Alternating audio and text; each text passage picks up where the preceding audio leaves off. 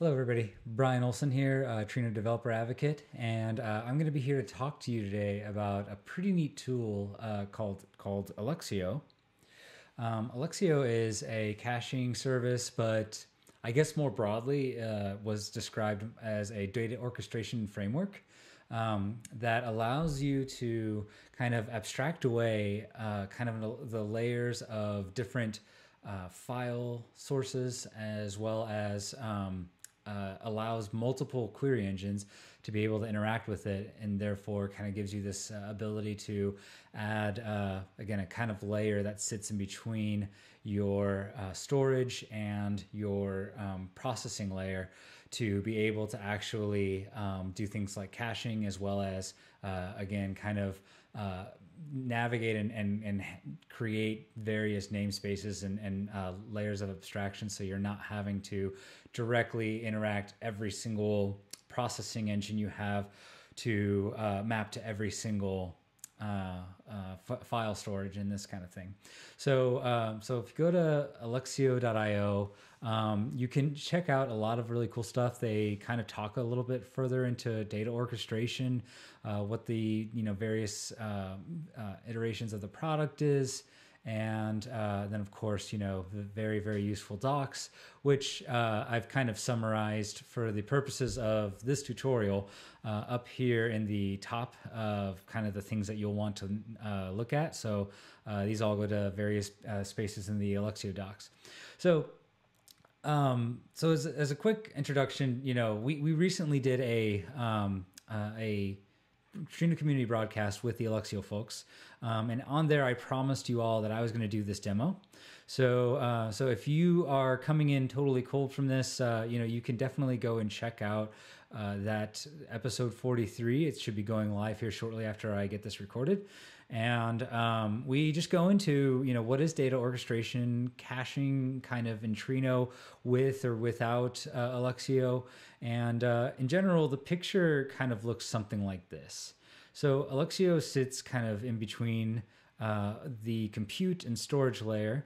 Um, you can have multiple storage layers, uh, you know, let's say S3 in multiple locations on the cloud. You might have it not just in AWS, but you might have it across clouds. So it could be in uh, Google.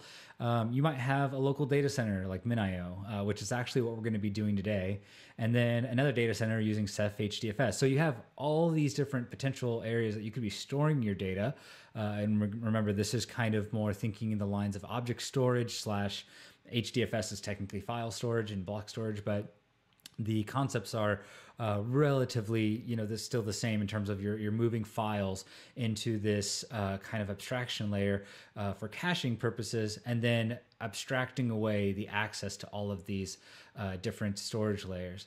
And so this can, you know, come from multiple compute layers, uh, Spark, of course, Trino Presto uh, is what we're going to be talking about today, specifically Trino, and then Hive, PyTorch, TensorFlow, all these different things that can actually interact with Alluxio's uh, file space um, that can be mapped into these multiple mountings of, of different um, of different file locations. So today we're going to connect this up to um, you know have Alluxio basically write into MinIO. I'm going to show you how to configure that, and then we're just going to do a very simple setup and i'm going to show you some of the backend stuff that's going on so you kind of understand uh, and have an appreciation for what alluxio is doing behind like kind of under the covers so our goals is that you're going to learn how to configure Luxio to point to s3 storage uh, like minio um, and then you're going to learn how to query alluxio uh, to with a query write through from trino. So here's all the resources to kind of re- uh, reference in the beginning. And so first step, you know, kind of let's let's go over the actual configuration here. So um, so we have Trino really just configured identically to the other Iceberg configurations that we have um, and other things. So so this, by the way, is part of the Trino Getting Started repo, which we'll link to uh, in the bottom of this description.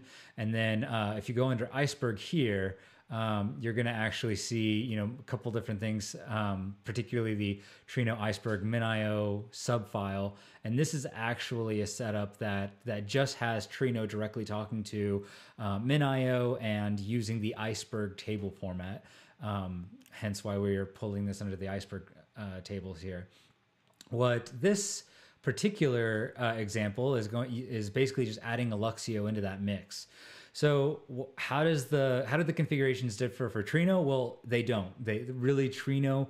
The only place that Trino actually changes uh, really comes into when you're querying. So um, when you're querying, you're actually going to be using a schema that you know kind of is is uh, um, has the protocol of Alluxio, and you're actually going to include the host of the leader.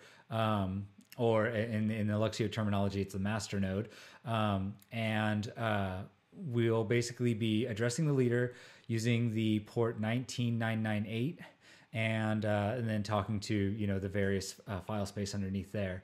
And that's actually going to be mounting directly to MinIO. So whenever we interact with Alluxio, anytime we write data to um, to the ice or sorry to the Alluxio uh, tables, a table that's pointing to the Alluxio location, then um, that's going to get backed up and essentially asynchronously copied into the uh, the storage layer. So we'll go take a look at, at uh, all that as we go through here. So Trino configuration, for the most part, other than when you're actually creating the DDL, uh, the create statements, um, that's going to be really the only time that you're going to be adjusting anything from Trino's perspective. So the rest of it comes into the Alluxio configuration. So Alluxio, uh, in general, uh, there's one way you could actually be, you know, running these configurations would be, and I'll, i created a little link here to this uh, page here, so you can kind of open up this Alluxio-site.properties. So this actually opens you up to the uh, configuration HTML, and this is how you know all the different kind of things that you can do to to set this Alluxio site properties.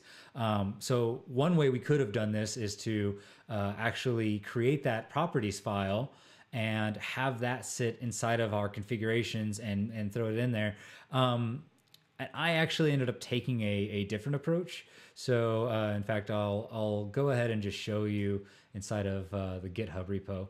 So rather than kind of having like a, a configuration file, let's say you know an Alluxio configs file sitting inside here uh, that we could have you know ported in or, or copied into Alluxio, uh, uh, nodes, um, I instead just in our Docker Compose, I added this uh, Java ops, which actually allows us to overwrite the the um, uh, Alluxio properties here. So uh, I like this because this actually contains all of the changes that we're going to, to need for Alluxio all inside of this Docker Compose file. So everything you need to look from a change uh, perspective uh, when you're adding an Alluxio all exists inside of this Docker Compose file.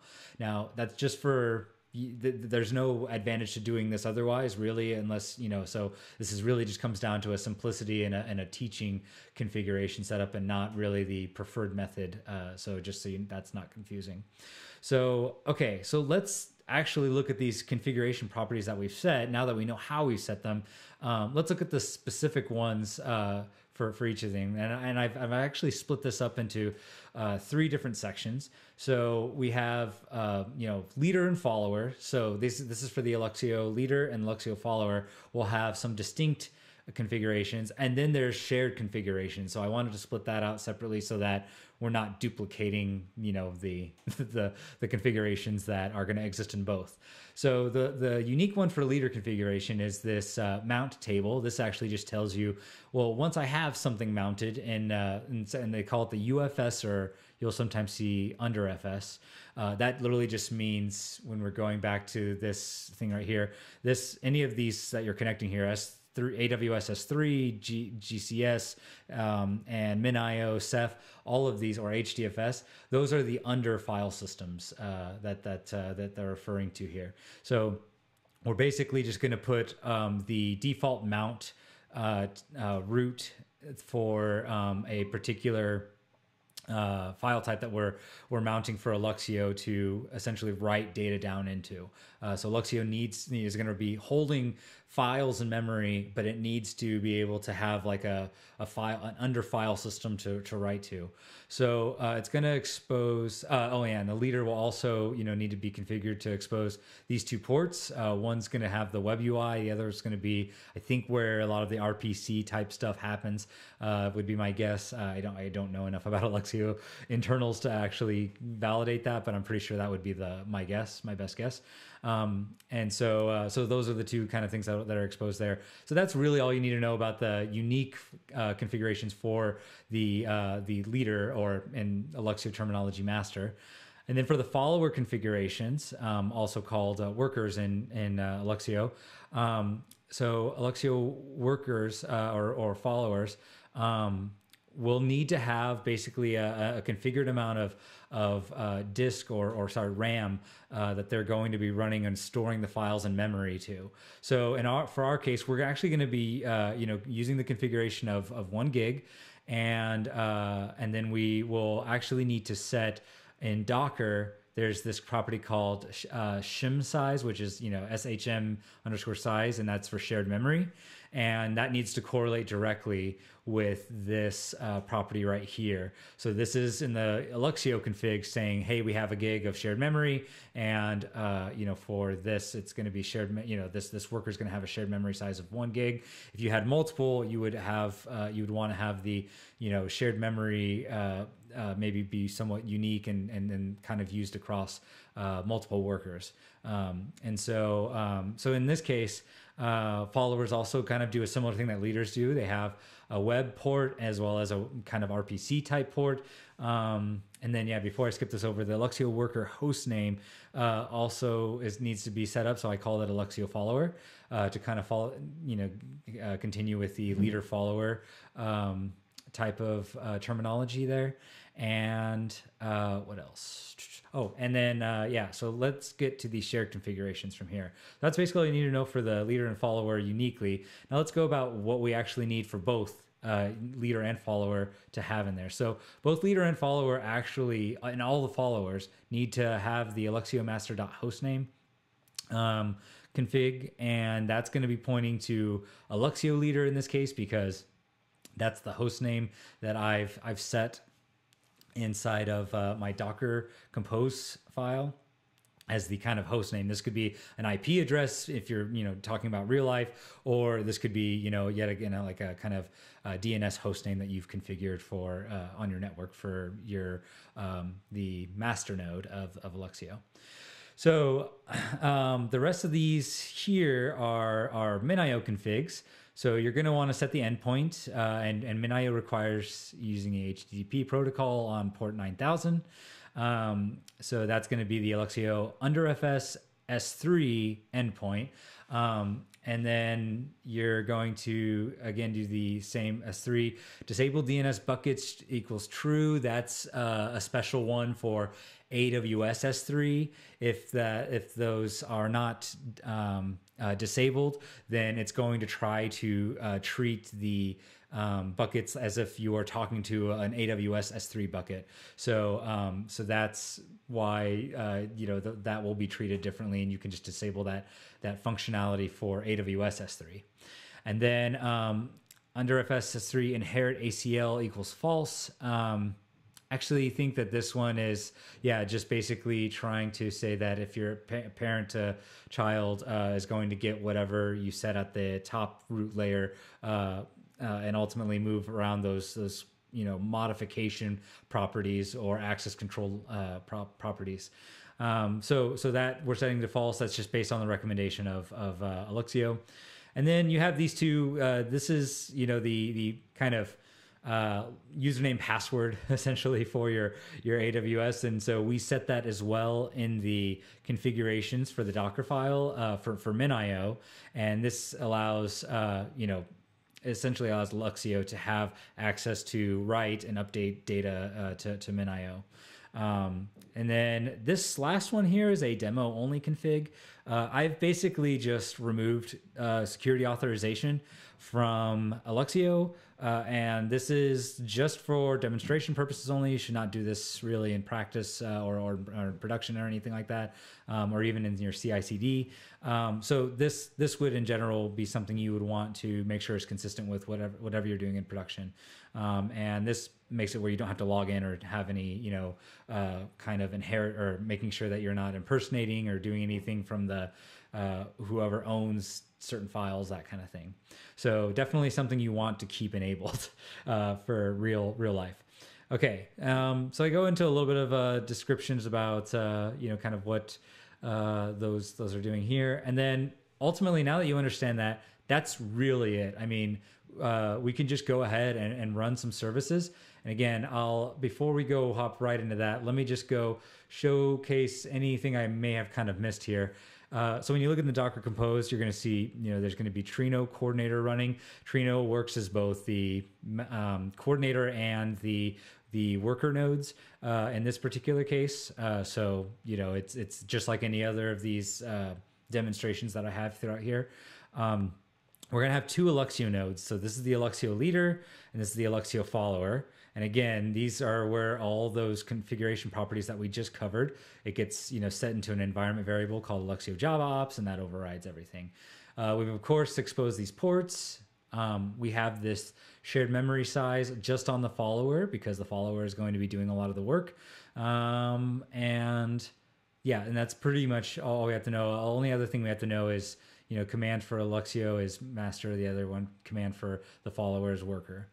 Um, then we have the rest of the stuff that's very similar to how I have this set up for Iceberg or or Hive. You know, you have uh, for Hive Metastore, you know, you're going to be basically having a backup database as well as the Hive Metastore service running, and that's that's run just like any any other one. So that Hive Metastore basically holds the metadata that maps your files uh, up to SQL statements, essentially uh, something that could be understood or uh, digested as you know rows and and uh, and tables and things like that. Um, one th- small little bit about the Hive Metastore, though, uh, I do you do have to actually like pull down the Alluxio shaded jar client because ultimately uh, when you're executing uh, basically updates and changes to the Hive Metastore, uh, there will be some actions that the Hive Metastore has to take as a client uh, to to talk to MinIO uh, and actually uh, write certain bits of data back. So that's just an aside, but you you will have to have uh, the Alluxio shaded client put into the um, the path of the Hive install directory. So so you can kind of see how how that's done there.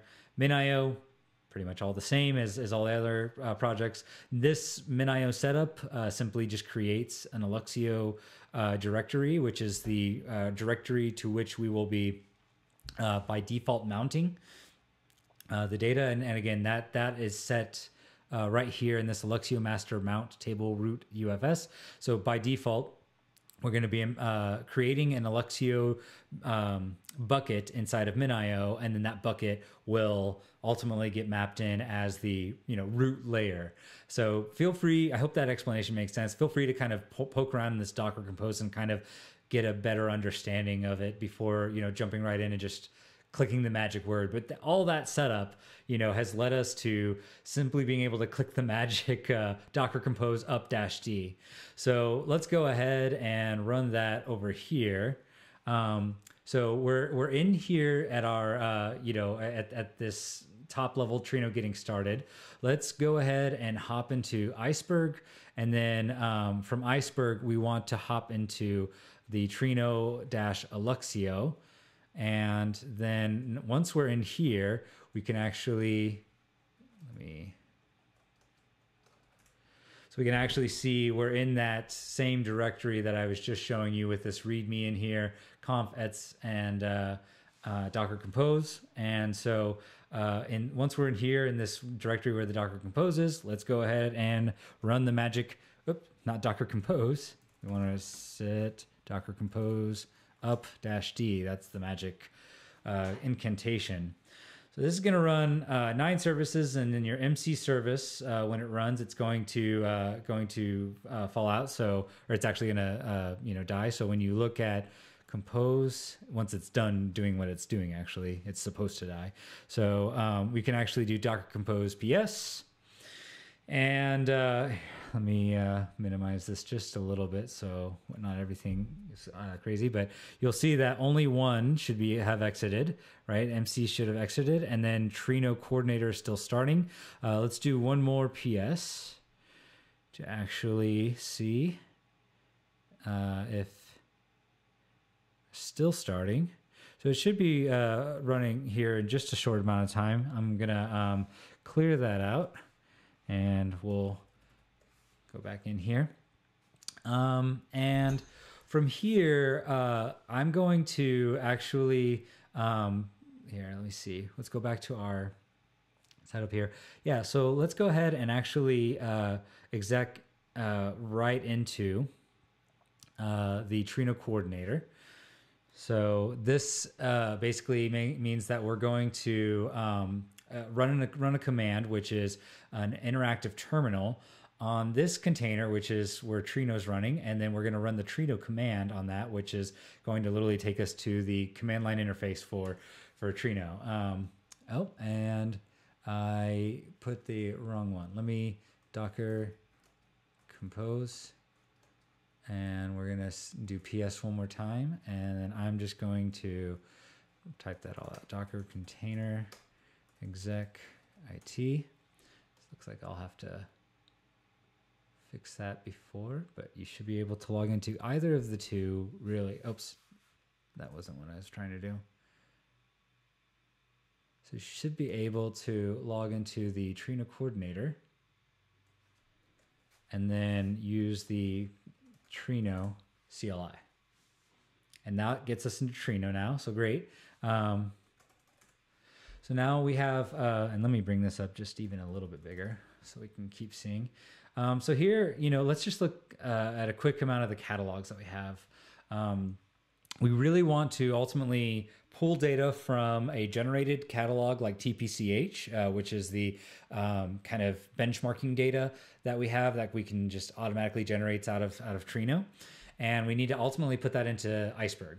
So, um, so we have our iceberg catalog here. We have TPCH or TPCDS if you wanted to do something bigger, um, but TPCH is going to be doing just fine for for our example here. So, um, so what we're going to do, uh, we talk a little bit about the schemas, and and I and I already went into a little bit about how we create the Alluxio uh, setup. Let's um, uh, go ahead and take a look real fast at that actually. So. Um, there, let's, pardon me. We want to go into the, there's the Trino UI. We want to go into, where is it? Wait for it. I thought I had the Min, MinIO UI somewhere here. There we go. Here's the MinIO UI and then the Alluxio UI. We don't want to go into two of these. So the same way we have the username password. So it's going to be MinIO minio123. And again, this is set by uh, a configuration that I have in the Docker Compose file uh, that you'll see. So you'll you'll you'll see it in there. And so right now we have this bucket, this Alluxio bucket that was created, but there's literally just nothing inside of it. Um, likewise, you know, we have this uh, Alluxio set up here, uh, but there's no, uh, and there's actually some weirdness with the uh, when when Alluxio connects to uh, S3 that when there's nothing in it, it says it's unable to reach the API endpoint for this page. I think it's because there's no root uh, created yet for for this page, uh, even though it's the the bucket itself is created. So that's fine. Uh, oh, and and you know, clear to make things very very clear, right? here's the mount point. So at the root of Alluxio, it points directly to this S3 colon uh, forward slash forward slash Alluxio uh, location. So that's that's the one to one ratio on Alluxio. So this is where you know anytime you talk to any any query engine now can talk to that mounting point of root, and now it's going to actually talk directly to to MinIO, right? Um, so anything you write underneath that will write underneath this Alluxio directory or sorry, bucket inside of uh, MinIO. So, uh, so that's pretty cool. So let's go ahead and, and actually get started on, on actually running these uh, queries. So first we need to create a schema. So this schema is actually going to point to, um, we're going to call it the lakehouse schema. To say everything that, that's sitting in our lakehouse, we want it to, to you know fit underneath the schema. So we'll just create a, a, uh, a directory called lakehouse. So that way we know that whatever is getting created from the schema level will also correlate to the directory level inside of our file system. So, um, so let's go ahead and run that. Let's create schema, iceberg lakehouse with the location and here's again where we have to, where we're actually telling Trino, here's where you find Alluxio's service. Now go ahead and create a schema uh, at that location. So we go ahead and create that and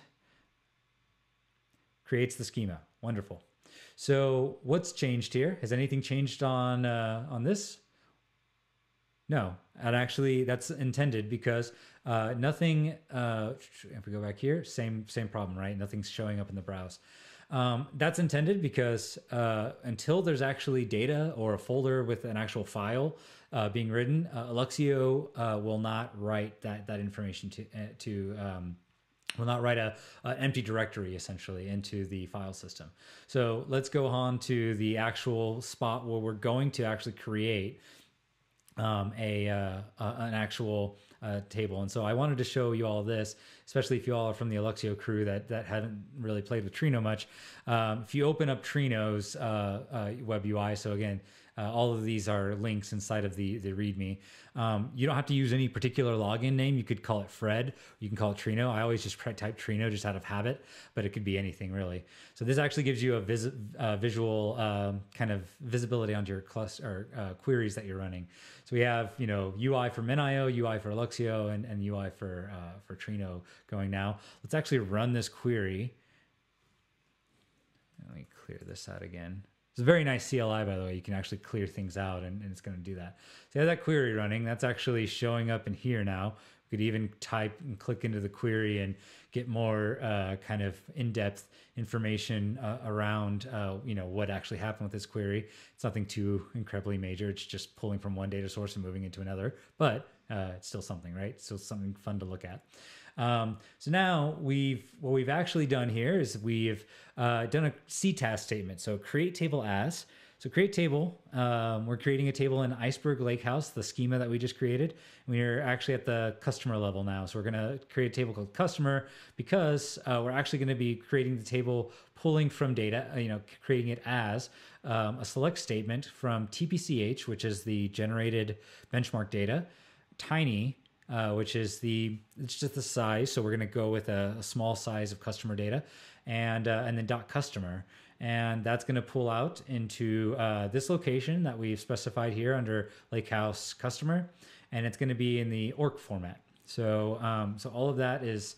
Uh, what that query just did, and it's just pulling data from one source to another. So now that we have data in there, we really should expect to start seeing uh, actual files show up in both Alluxio this is great. Luxio shows a lake house, lake house underscore customer. Um, and then it shows everything that you would see from a, an iceberg standpoint. So there's the metadata, which is kind of uh, giving us a lot of the information about ranges of data, um, the snapshots that we're on, uh, different things from a, from all that iceberg stuff. And just so it's clear, we are, this does work on iceberg. Um, and then we have the the data, itself, which is the actual ORC file that contains the, the raw you know data sitting in there. So um, so that's great. It's sitting in memory, uh, and according to this persistent state, it's already persisted. So we should expect to see this uh, sitting now here in MinIO. And sure enough, Lakehouse customer, all those files are, are persisted now back here into MinIO. So, okay, that's great. Now that that's happened, uh, we should be able to just, you know, run a query on this and just get some data back. Great. So, okay, so that that's uh, pretty cool. Uh, but I mean, kind of question that might be running in your mind is this is actually, you know, pull from memory or what's the actual, you know, kind of benefit to having this if this, you know, what happens if I just delete this whole uh, Alluxio data? So, uh, and just make sure that it's actually pulling from memory. So remember, again, we have this stored in two locations. It's stored in memory over here on Alluxio and uh, stored in MinIO. So let's just go ahead and delete this. Uh, you wouldn't want to do this in, in reality, but uh, you, you could do this over here in, in MinIO. And uh, there, you know, if you accidentally did this, there's obviously uh, some method or way to probably, you know, essentially recover this from Alluxio as well. Um, but let's just say this something like this happened a bad process got in, into the mix and uh, and now the data, persistent data is gone. Well now we can go back here and still see that this still exists. Now unfortunately the persistent state uh, won't isn't going to get updated after you delete it because it's just going to say hey i've already persisted this data. Uh, i'm not going to really be you know doing these checks to make sure that the data is still sitting in the under fs so but this data still exists there. So even though we've de- deleted the data in minio uh, let's see if you know if we could still run that same query and get uh, data back. And so, sure enough, here we are. We still have data in the cache, and uh, and so that's that's kind of the proof in the pudding, I guess you could say, that we've actually successfully uh, added this this layer that sits in between. Um, where am I trying to go to here? Uh, I added too many things. Uh, trying to go over here. So this perfect little you know caching layer that sits in between Trino and and MinIO here. Um, and if you think about the broader implications of of something like this, it's pretty cool. It's it's kind of uh, anytime you have these this you know uh, you have multiple compute engines and you have multiple storage engines, you start to draw lines between each of these boxes, and it can get very complicated. You have to connect Spark to one, two, three, four, five, six, you know, different storage engines, uh, and then you have to uh, you know, then connect Trino to it. You have to connect Hive to it, PyTorch, TensorFlow, and it, you could start seeing the the kind of complex graph that starts to uh, fill up there. Whereas, um, you know, it, having something like Alluxio in the middle of all that. Uh, kind of makes it to where all of these five only have to point now to Alluxio to kind of give you that one-stop shop for for data access uh, to you know everything and, and everything that you need to access will fall under one one uh, you know kind of uh, orchestration layer. And then the storage um, you know only is is getting access through uh, one means and one means only and you can do a lot of cool things like logging and and security checks and validation on the Alluxio level and and and essentially enforce that there. And then of course I think the big one that everybody kind of thinks first and foremost with Alluxio 2 is having all of that cached files you know all this all this data you know all of these are different data centers all across the space. As long as your compute and is really you know proximal to your Alluxio cluster, then you're going to have a lot of speed, a lot, lot more speed up uh, of, of being able to read over. And, even in some cases, you might even consider, you know, running Alluxio on the same exact nodes uh, of some of these compute engines uh, if they're one by one. Now, if they're sharing, of course, you want to maybe keep that external. Uh, but uh, for the most part, that's that's basically what we want to show you today. A very simple, basic setup of you know, Trino plus Alluxio and why you want to use it and how you can set it up. Um, all of this code is is again uh, available on the Trino Getting Started um, uh, repo, and it's just sitting underneath Iceberg and this Trino Alluxio Iceberg MinIO. Uh, you can you know check out all of the uh, README there to kind of get you started and going, and then there's even further uh, reading in these resource files right here. So uh, with that, thanks, and uh, hope you have fun.